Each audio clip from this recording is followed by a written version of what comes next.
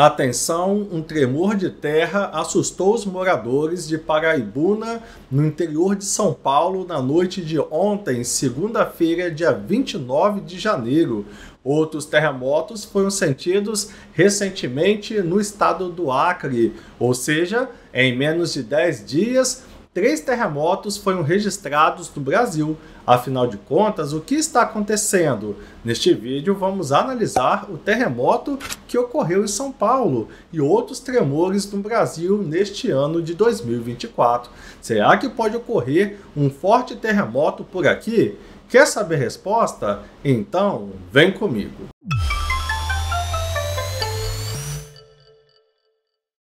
Seja bem-vindo ao canal Tudo sobre Geografia. Eu sou o professor Bruno Barros e aqui nós fazemos vídeos sobre astronomia, fenômenos da natureza e aulas de geografia. Se você tem interesse nesse tipo de assunto, já se inscreve no canal e deixa o seu like para fortalecer a nossa comunidade educativa aqui no YouTube. Neste vídeo vamos analisar o recente tremor que ocorreu em São Paulo e demais terremotos no Brasil neste ano de 2024.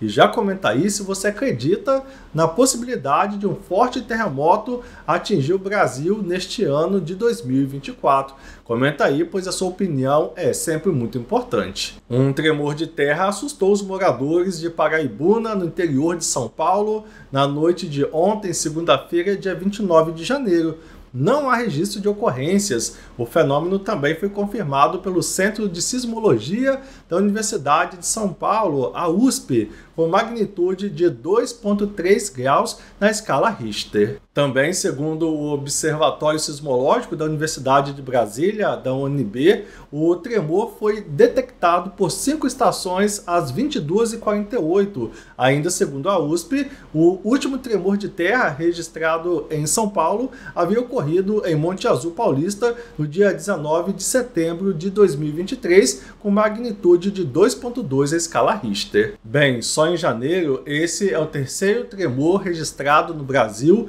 em menos de 10 dias. Como eu disse no início deste vídeo, outros dois tremores foram registrados no Acre. O que está acontecendo no Brasil? Vamos analisar a partir de agora o que a geologia diz sobre terremotos no Brasil. Os terremotos são causados por uma liberação repentina de energia na crosta terrestre.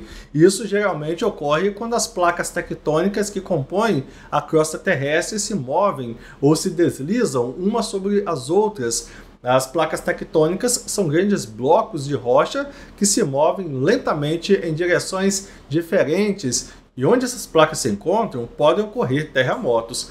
Quando as placas tectônicas se movem, elas podem se chocar ou se afastar, o que pode causar pressão e tensão na rocha. Essa pressão e tensão se acumula, se acumulam ao longo do tempo e eventualmente são liberadas repentinamente, criando ondas sísmicas que se propagam pela crosta terrestre como um terremoto. Além disso, os terremotos também podem ser causados por atividade vulcânica, deslizamentos de terra, explosões subterrâneas, colapso de cavernas ou túneis e atividade humana como mineração e injeção de água no subsolo. O Brasil está localizado no centro da placa sul-americana, que é uma placa tectônica relativamente estável em comparação com outras regiões do planeta, como por exemplo o Círculo de Fogo do Pacífico, que possui alta atividade sísmica devido à convergência de placas tectônicas. No entanto, embora seja raro, o Brasil pode experimentar terremotos de baixa magnitude.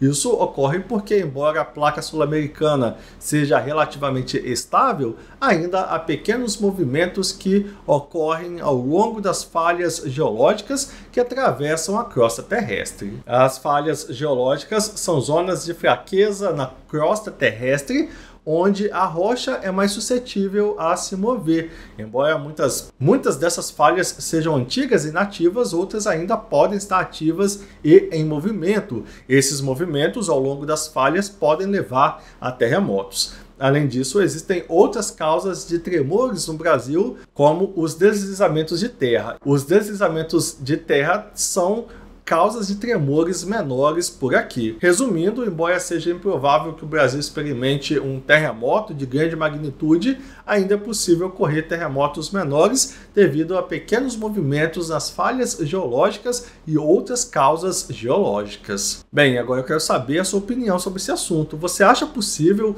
um forte terremoto ocorrer no Brasil? Você que mora em São Paulo, na cidade onde ocorreu esse tremor, você também sentiu esse tremor?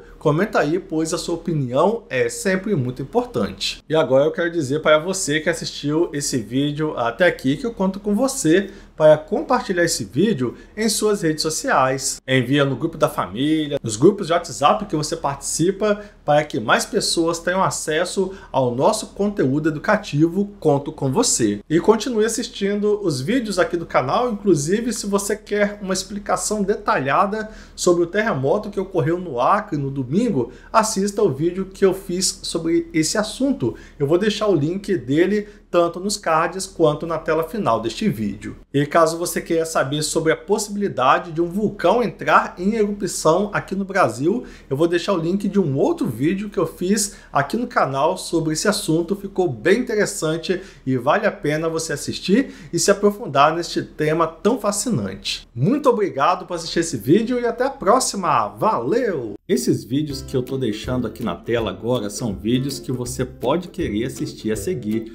Qual vai ser o próximo da sua lista?